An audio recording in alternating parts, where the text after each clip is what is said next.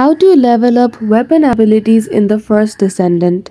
In this video, I will show you how can you easily level up the weapon abilities in the first descendant application. So without any delay, let's get into it. For that, firstly, in order to upgrade unique abilities in the first descendant, you must have progressed to a certain section of your game's campion as a requirement. After that, so the very first step is to go to the main lobby and make your way to a workbench or repair station. After that, click on use option. Then, in the use option, select enhance unique ability option with the workbench menu. After that, select a weapon of the choice with the unique ability. Then after, fuse another duplicate of the same weapon to proceed. After that, the very last step is to pay the gold fee for each enhancement and confirm.